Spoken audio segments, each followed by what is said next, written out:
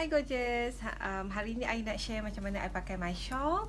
So first you have to have shawl and then a little bit of pins. I ada empat pin kat sini. Nanti I tunjukkan. Um, then you sengitkan sebelah you punya shawl ni. Sebelah pendek, sebelahnya panjang. Okay, then apa you kena buat? You uh, betulkan ke atas you punya muka. Then you tarik sebelah ke belakang. Ah, yang panjang tu you tarik ke belakang. Then you tarik ke atas. Hmm. Tarik ke atas. Dan you pin kan sebelah sini. Ambil pin. Ah, I ambil pin yang besar sekali. Letak kat sini. Ah, besar kan. Okay, then pinkan dia. Pinkan dia.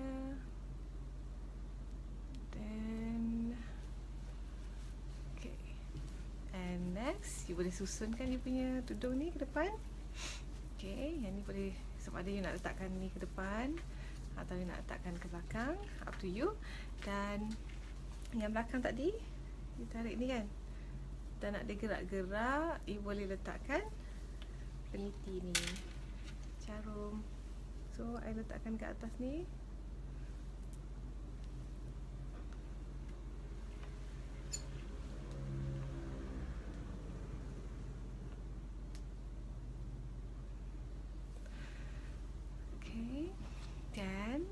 adjustkan sikit sebelah sini dan you boleh adjust lah you nak macam mana? You nak macam ni ke? Macam ni ke? Kan? Uh, okay, contoh nak macam ni lah. Then pinkan tepi ni.